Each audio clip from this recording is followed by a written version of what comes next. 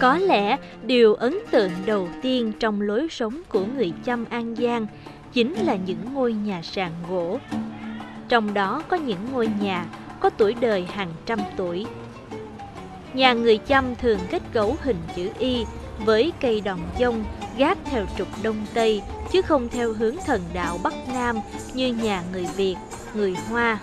Do lịch sử sống ở vùng sông nước nên hầu hết nhà ở đây đều có sàn cao để chống lũ.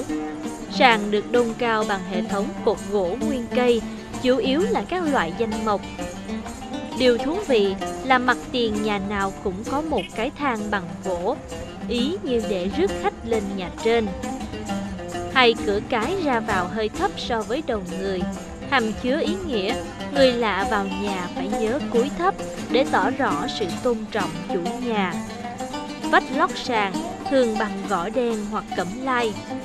Tùy điều kiện mỗi gia đình mà có thể trang trí thêm các chi tiết ở cột, sàn ngang hay cửa sổ. Người chăm thường thường làm cái nhà bằng gỗ, thì à, cái nóc nó bằng ngói, thì đó cái ý nguyện là người chăm là nó mát mẻ không có gì tao không khí nó vô. Có nhiều cái cánh cửa như cửa sổ cửa cái nhiều lắm. Đó thì không khí nó vô nó thoải mái hơn. Bên trong nhà đồng bào chăm An Giang hầu như không có bàn ghế, nên khi khách đến nhà thì chủ nhà thường trải chiếc chiếu hoặc tấm thảm để chủ khách cùng ngồi xếp bằng trên sàn gỗ. Người chăm vốn rất thân thiện, hiếu khách, thích kết giao. Nhà cửa đồng bào chăm trước kia do sống quần tụ nên phần lớn cất sát vào nhau.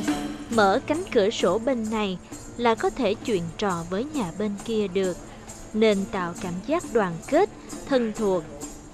Tuy nhiên khách đến nhà, nhất là khách nam giới, phải đặc biệt lưu ý tránh tự động vượt qua khung cửa ngăn cách với gian nhà trong, được trang trí bằng các loại màn che tùy theo điều kiện của chủ nhà.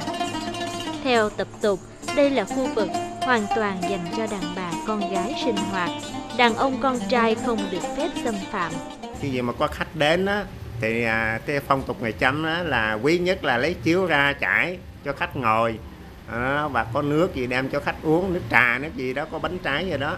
Mà trong à, ngày lễ lộc của người chăm á thì thì à, à, lối xóm á đi qua đi lại. Cũng như là một năm gì có cái ngày hai, hai cái lễ lớn à, lễ Ramadan rồi à, lễ à, à, lễ lớn này lễ Haji Adha đó mấy người đã đi hành hương ở bên Mecca đó.